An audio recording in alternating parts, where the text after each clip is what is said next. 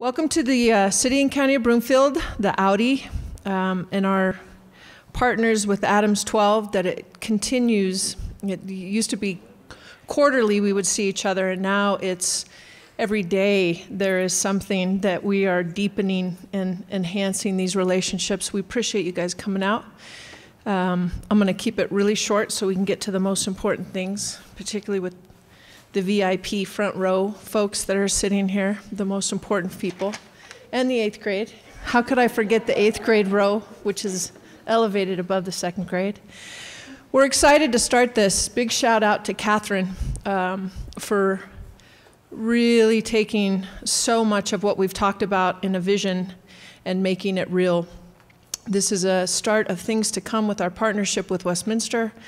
Um, bright ideas a lot of folks have ideas. Some folks have bright ideas, and then you have the folks that actually execute on those ideas and make it real. And that's what we're hoping this series can bring. Um, we have some of our folks out with, um, we just had Garden Center 6 that has been a labor of love in order to get a makerspace. Um, or as uh, Adams 12 and MindSpark um, Design Studio. If we're coming into the 21st century, it's not makerspace anymore. So we're trying to adjust to those, um, those new timely relevant phrases. And they're out front if you'd like some additional information. Um, next month is in Westminster. In June, I'm sorry. Um, June 7th. We also have some additional handouts. And with that, I'm going to introduce Tracy with um, Adams 12, and she's going to take us into this program for this evening. Thank you very much.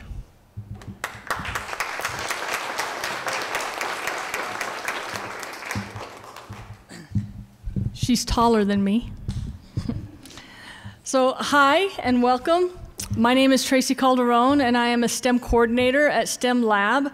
STEM Lab is a K 8 school that is one of three STEM schools um, in Adams 12. We are represented here by two of our STEM schools uh, with students. So we have second graders from STEM Lab, eighth graders from STEM Lab, and then we have high school students from Northglenn High School. STEM launches our other K-8, and they are unable to be here tonight because they have several other events this week that they are attending, but we are representing them in spirit. They run in the same model as we do. I want to thank the Broomfield Library and Westminster Library for hosting us here tonight.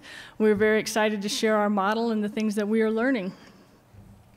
Um, so we were invited because even though we're in Northglenn and Thornton, we Adams 12 serves Broomfield, and we are schools of choice. So there are several, several families in Broomfield that we serve.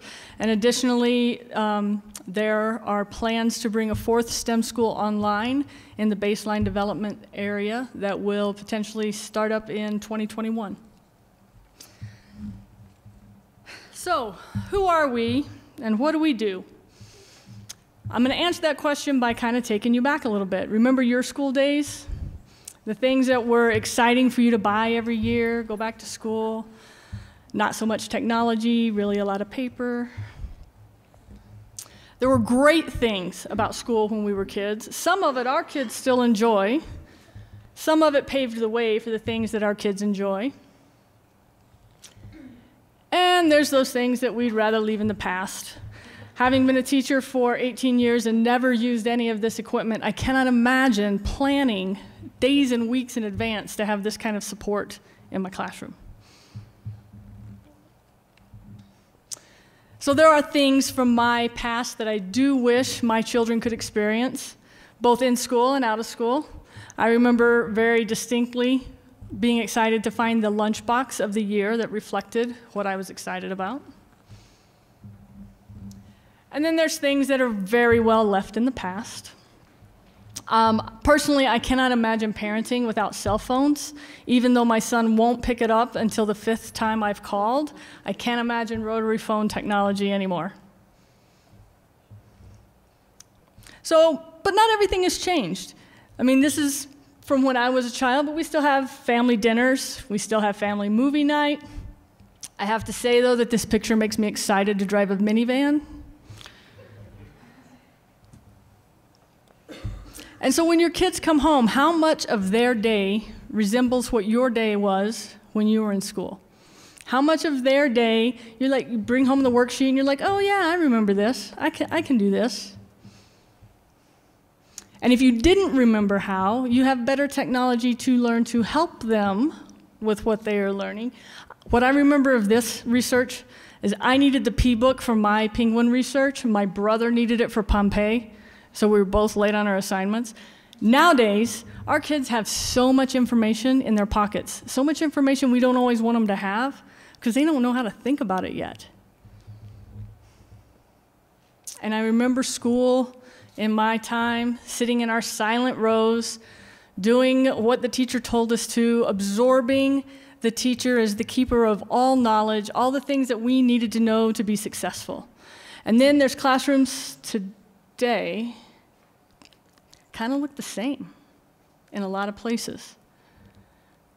We still look at school as the place to bring us knowledge, to just impart on us the things we need to know to be successful. And there's a problem with that. So that's where Adams 12 STEM schools were born. We recognize that all careers, especially STEM careers, the employees of those jobs, especially 10 years and 15 years down the road when we have no idea what those jobs are even going to be, they need to know how to think about ideas, how to think about information that we don't even know yet. And so we built the STEM model to be able to teach kids those skills. It's based on some cornerstone ideas collaboration, creative and critical thinking, um, problem solving. So, problem based learning is one of the biggest cornerstones of our STEM system. And you see some of the topics that, have, um, that are popping up on the screen over here. These are some of the problems that our kids engage with. So instead of just going through and teaching content, teaching science, teaching math, we're teaching through problems that are happening in the news and that parents are talking about around the dinner table. And students are learning their content while they are applying that to the problems that are happening in their world. We teach through collaboration. Those rows from that previous picture, those are gone. There's not a job in the world that you're going to have anymore that you, you do in a silo. And it's a skill. It's a skill many adults struggle with to work productively in a team. So why not start teaching that now? and failure. Failure is an awesome thing. We're so worried about performing on tests that frequently we're really concerned about the right answer. But besides being able to innovate from failure, failure also teaches us persistence and it teaches us a growth mindset that it, with some application and effort and learning, we can keep solving problems. Communication, you're going to learn a lot about what that looks like in our STEM schools tonight. Uh, we start kids really, really young, not only public speaking, as you will see, but also technically communicating with experts that are working on the same problems they are. And the creative and critical thinking. So it's not just for art anymore, and it's not just for music. We bring critical thinking into math and science and into just plain fun. Because the more you think outside the box, the easier thinking outside the box becomes. So the world is different, and we think school should be different as well. Our first group that's going to come up is from STEM Lab. They are our second graders, and they have been, they worked this past fall um, on a problem around supporting pollinators where we live. So I would like to welcome to the stage Anushka, Heba, Abby, Garrett, and Trey.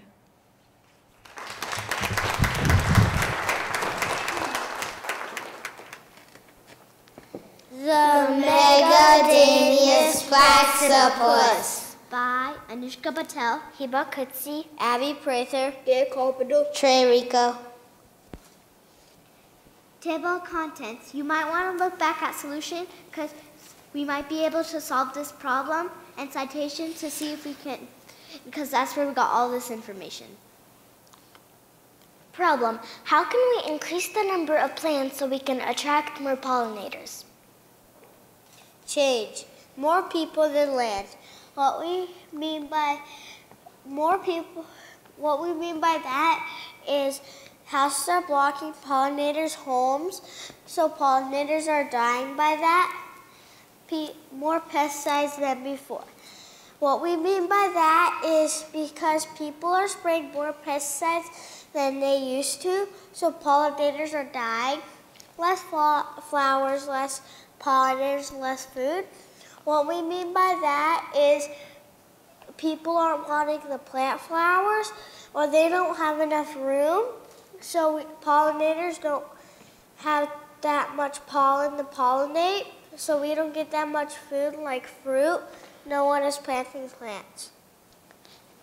Solution.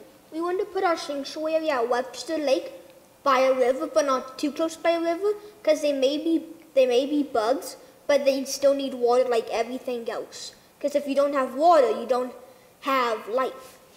We want to put it by a park, but not too close to a park, so, kids can, with their parents, can come in to see the pollinators, kind of in the natural habitat. 3D model from Tinkercad. This is this is our model that we created together, and this is our um, sanctuary. Action. So we're gonna s- we're gonna make a fundraiser of selling seeds. Um. So um. We can. So so we can get the materials that we need. Get materials. So when um, after the fundraiser, uh, we're gonna get um, money to build our sanctuary. Cost. One of the most important things for monarch, the butterfly, is milkweed, and that's $21.49. But for all pollinators, it's trees and plants, and altogether it's $31.95. Ecosystem. More people than flowers and gardens. What I mean by that is the earth is like a seesaw, it's not balanced. Safety for all. Everyone is safe. People and pollinators are safe when the earth is balanced. Citations. These are some of the websites we use. HomeDepot.com, Amazon.com, HaikuDeck.com, and Tinkercad.com. Quote, Nature always wears the colors of the spirit by Ralph Waldo Emerson. Um, thank you for watching our presentation.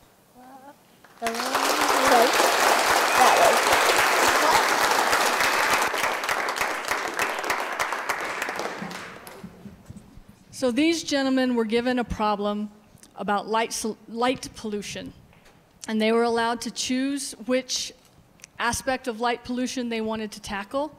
If you look at a night sky or a night photograph of the United States, in North Dakota and the Dakotas, there is a bright, bright, bright spot that rivals New York City, San Francisco, LA. And those are the fracking flares from oil production on those plain states. So these gentlemen decided to take that piece of light pollution on as their, as their problem. This is our fracking flare solution. I am Julius. I'm Blake. And I'm Taylor. All right, so fracking flares, what are they? They're used to burn off excess oil, methane, natural gas, etc., as to prevent backups and other issues that could occur, as well as to not flood the market. The issues they cause is light pollution, and they put out many, many noxious fumes. So here are some criteria and constraints for our project that we created. So it can't be cost, it cannot be cost prohibitive for us to test, us to create, and us to make. So um, another thing is it has to get rid of the light pollution because that's the whole sort of gist of this problem. So we also figured that since if we're getting rid of light pollution overall, the flare itself should go too. Um, constraints, uh, we have to have it done by that date, which was the due date for our project, and it has to be testable in the classroom. These are our 3D models. This is our rough draft of what it was originally going to look like. And this is our final draft with the this is the oil and then that is the two pulling the, original rig pulling the oil out and that is the sorter, and then which goes into the storage tanks. All right, so this is our structure function table, what the objects are and what their purpose is. So we're going to start out with the tank. This is basically used to store all the materials that are collected. Then we're going to move on to the injector. The injector serves the purpose of injecting the separant, so the rubbing alcohol in this case, which is used to separate the densities between the two objects, whether, whether that be oil and natural gas or natural gas and propane. So as we move on, we're going to use a mass spectrometer to determine the density as well as what material it is. And then a computer takes this data, processes, processes it using a density sensor to say, okay, this was the last reading from the mass spectrometer. This is the density of this object. So I need to, I need to use the, suck, the straw in order to suck it out and put it into the different location. And then we use metal to build tubes to transport this material.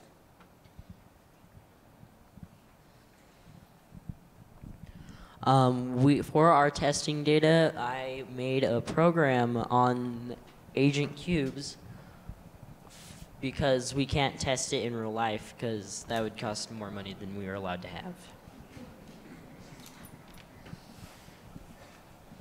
So this right here is the oil rig, and then the black part is the tube, which goes down to the white block you can see right there, which is the mass spectrometer, and then it gets pushed into the storage tanks.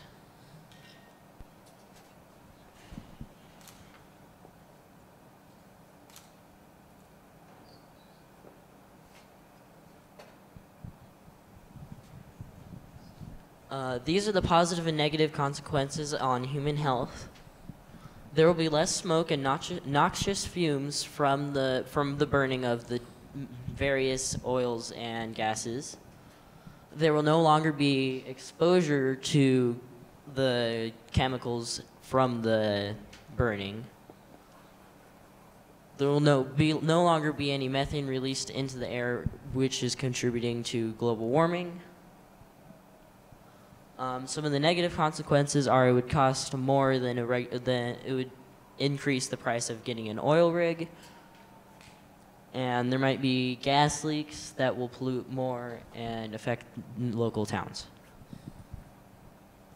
All right, so the big deal here is we got got it so there would be much less light in the night sky in this area. The other big deal is there's less disruption of ecosystems that rely on light to determine when the animals are hunting or when they're sleeping, etc. And then birds are much less disoriented as they use light to determine where they are traveling. However, there are going to be some issues such as global warming will increase instead of in more in one spot around the whole world. The other issue is there will need to be more trucks, which makes it more prone to accidents. Okay, so some other positives of our design. It's going to cut back on all these noxious fumes that have the potential for hurting people. They have the potential for injuring people, and that's not good. Um, we also have a cutback on light pollution, always great. Um, on top of that, it also clears up the night skies. But so I don't know about you, but it's easier to sleep when it's dark out. So I much appreciate that part.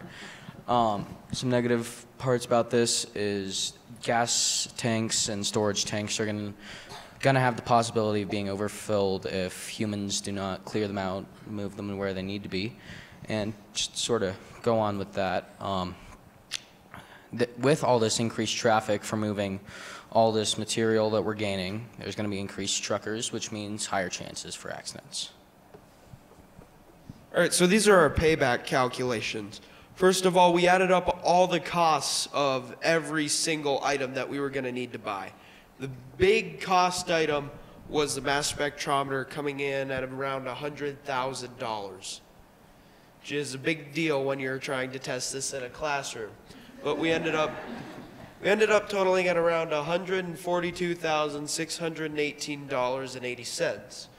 So, in order to calculate our payback, We came up with the price of oil at that time, which was $2.66 a gallon. And then for natural gas, $2.50 per cubic foot and two two dollars and ten per cubic foot of methane. Then we used government sources, which all fracking companies are required to fill out. And by filling, by filling this out, they gave us data that we needed to determine how much money this would make or rake in as time were to go on. We ended up calculating our total payback to being about 27.98 hours, just a little bit more than a day.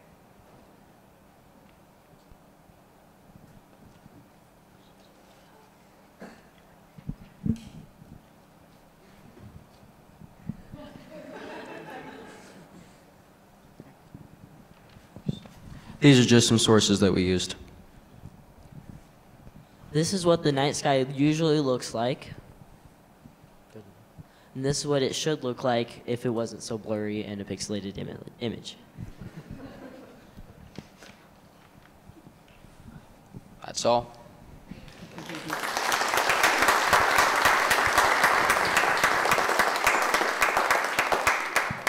Hi, my name is Natalie Grambart. I'm Penny Loftusness. And my name is Savannah Van Dyne, and we are all seniors at Northland High School STEM. So we are all seniors in the um, school's um, STEM program, and we are in the fourth year capstone class. What the capstone class is, is the it's accumulation of the past three years of the STEM pathway in either engineering, biomed, or biodesign.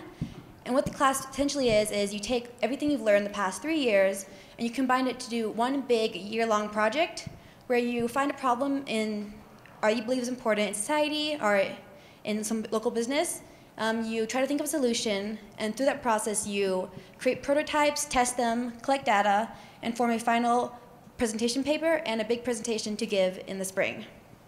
The, the capstone class is also a nice um, combination, as it's often done with students between both the engineering and the biomed pathway, as it is with us here today. And we were given the opportunity to have a partnership with the Denver Zoo. So we, uh, all the capstone class, both capstone classes were offered the choice to help create an enrichment for their primates. We were specifically given uh, the primate, uh, the red-caped mangabey.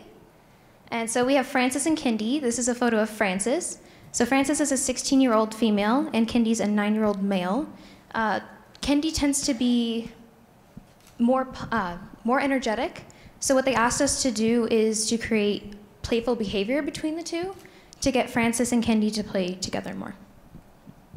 So these are some enrichments that the Denver Zoo currently uses. So they use a fire hose and they stick different materials inside to try to get their foraging natural behavior out. Um, they also use plastic balls that they can just bat around on the bottom of the enclosure. The Houston Zoo actually uses basketballs, and we were thinking about going down that route, but it's not a very economically stable solution because they go through one basketball about every week. Um, and they pop them within one day, so it would be a everlasting thing that we would need to purchase. And then the Denver Zoo uses a PVC puzzle that allows them to put scents and other materials in there to provide an intellectual challenge. So when we started this project, we were given a, a series of constraints we had to do to, when we were designing our prototype. The biggest issue the Denver Zoo had with any um, object put in the enclosure is safety. It had to be safe for the mangabeys or any primate, meaning it couldn't be sharp, toxic, um, they couldn't ingest it, and it couldn't cause any harm to them. So we had to design our prototype around that, making sure that if it didn't meet those requirements, we couldn't even test it. The Denver Zoo also wanted us to create two enrichments so that there would be no dominance between our two mangabeys. Since Kendi is um, a male, he tends to dominate over the current enrichment devices, which leads to Francis not playing with them, which is the current problem they have now. And we also had to make sure that um, it had to be reusable so that you know we couldn't just have do it one time, have them like it, and then well it's gone now, so buy it again, which therefore is not a very economically stable option. So these were our initial design concepts. We initially came up with four different enrichment devices because we wanted them to incorporate a playful behavior between both of them, being able to play with multiple devices but play together. So our first idea was to create a hard plastic ball that would hang to have the same concept as the basketball, but something they could hit while hanging around. And then we have the swing with um, like some type of mobile beads or something in the middles because they re- they're really interested in noises. And then we had car strips that would just hang and those they can just bat around. And then we had another idea to create a stump. They're very interested in the stumps already in the enclosure, and they're, uh, we wanted to incorporate a tearing motion that they can tear fake bark off of. And then there's a reflective uh, surface underneath because they like reflective, they like tearing. So this is our budget and materials that we've bought so far. So we decided to go with just the swing option and we'll make two different swings to put in the enclosure. Um, so first off, we bought a wooden dowel that we decided wasn't going to be put in our final design. Um, and then our washers and the wooden pieces are used for the center to make um, the noise aspect. The wooden plank is being used as the base of the swing. Uh, the sisal rope is being used to attach it or to hang it essentially. And then the carabiners are being used to attach this to the pre-existing ropes in the enrichment so that it's easy for the zookeepers to put in and out as they please. Um, so as a total, it came to $102.77. So our first prototype that we used for testing was the wooden swing, shown here on the left. And in the middle, we have both the wooden blocks and the metal pieces, and they have a little bit of freedom in their movement, so the mangabeys can bat them around and move them, create that noise that they really like to hear, and really engage in the enrichment. And then the swing has um, four holes for the rope to attach to, and we decided to go this route instead of just doing two holes on either end, because it was safer, it, it didn't twist as much, and it wasn't as dangerous in terms of flipping which, would, which was a concern the zookeepers had with our original idea. And then at the top of the ropes for hanging, we used two carabiners to reattach it and take it out of the enclosure when needed, so zookeepers could clean it or remove it if there was some bad weather that could damage the enrichment device. And then we were given a resource by the Denver Zoo, which is a ethogram, and we use this chart to collect our data while we're visiting them in their enclosure. So we use this in ethogram. Uh, we describe the behaviors and then like the specifics of the behaviors. So each group member knows what that specific behavior is. So we all have the same data. Okay, so this graph is of a 15 minute time period that we took data.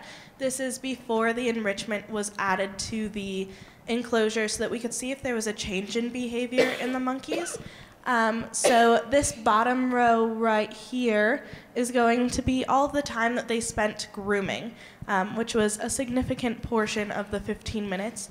And then this row right here is going to be all of the time that they were interacting with each other, um, whether that be direct physical grooming of each other or if it was just they were in the same um, area and they seemed to be interacting with each other. And then this second one is after we put the enrichment in. So these two little spots down here are Kendi interacting with the swing directly. He pulled it up to himself. He tried to get on it, but wasn't quite sure if he was comfortable with the device already. Um, and we were kind of disappointed with this result because it didn't seem like they were interacting with it as much as we had hoped. But after talking to the zookeepers, they were actually really pleased with the results that we got because they had placed plastic balls in the enclosures before and Kendi hadn't touched them for two months. So the fact that he was intrigued by it, he, they were really excited. Um, they're hoping that if we leave it in there a little bit longer next time, he might play with it a little bit more. So our second prototype that we are currently making right now is um, creating a second swing so that both mangabeys can interact with it. Because what we noticed the first time was the swing we put in the enclosure, Kendi would play with it and touch it and try to get on it. But since Kendi was doing that, Frances wouldn't go near the swing at all because she thought he had taken over it. So she spent her time in the corner, and that's kind of the behavior that we want to get rid of. So our goal is to create a second swing similar to the first one in that it has beads in the middle and it's made out of wood and like has four attachments. Except we would modify the swing a little bit getting rid of some of the pieces in the middle so that they move around a little easier, so they can make more noise and hopefully engage them more. And then our way to modify the swing a little more to get some different data is to attach some pieces at the bottom, two wooden blocks and two plastic balls. Those would be attached to the bottom about a foot off to see if adding those attachments would increase or decrease the amount of engagement with the enrichment. And it was also to see like they could climb on it, if they would play with it, if it would change anything at all. And then we also decided to modify a little bit on the ropes on the side by by adding a um, attachment piece that would like kind of cinch the rope together so it, it wouldn't twist as much or um, flip or wrap around because that was a concern the zookeepers had when putting ours in the enclosure is they spread it out really far to try and avoid that which kind of put it really high, up, high off the ground which was kind of hard for them to use. Oh, do we want to show them? All right, so right now we're working on finishing, finishing our second prototype. So we're going to make a second swing and then incorporate all that, fix this one, get the next one going. And then we're going to go back for testing and then make any final uh, corrections that we need to make and then go back for our final testing and then complete our written report for the end of the year. Um, so we're going to finish the school year off by having a uh, capstone expo. It's going to be on May 2nd at Northglenn High School if you guys are interested in coming by and seeing what we ended up finishing our project by or asking us any questions about our design process. Thank you for watching our presentation.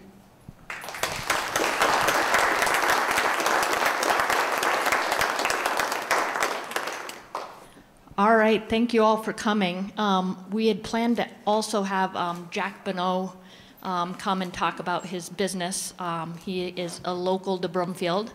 Um, but unfortunately, the flu got him this morning, so he is not here with us. Um, so that is all we have for tonight. but I did want to mention a couple things. the next Bright Ideas is going to be with the Family Theater Company um, and that will be at the Westminster Library in June. Um, and then we'll have one of these each quarter um, presenting a different group um, that is doing innovative things in our community.